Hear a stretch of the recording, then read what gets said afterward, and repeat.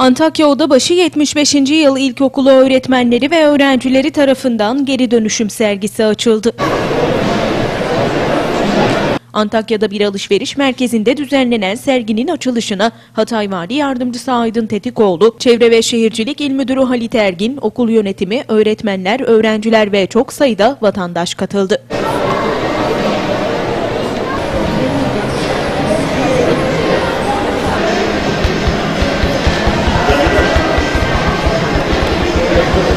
Açılış öncesi okul halk oyunları ekibinin gösterisi izleyiciler tarafından ilgiyle izlendi.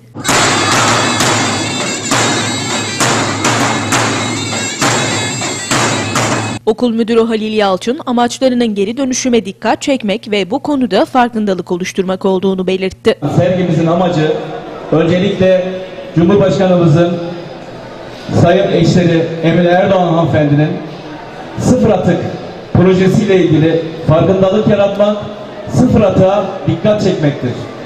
Ben katılımınız için hepinize teşekkür ediyor, saygılar sunuyorum. Hatay Vali Yardımcısı Aydın Tetikoğlu da projede emeği geçenlere teşekkür etti. Bari hiç olmasa güzel bir miras bırakamıyor, bırakamıyoruz ama hiç olmazsa gelecek nesillerin bunu telafi edebileceği, e, en az zararla bu eksiği giderebileceği bir e, dünya bırakmak dileğiyle ve ümit ediyorum. Demin de çocuklarımızın bu duyarlılığını görünce biz nesil olarak ne kadar kirlettiysek çocuklarımız bizden daha duyarlı olduğunu görmek sevindirici bu ülke açısından.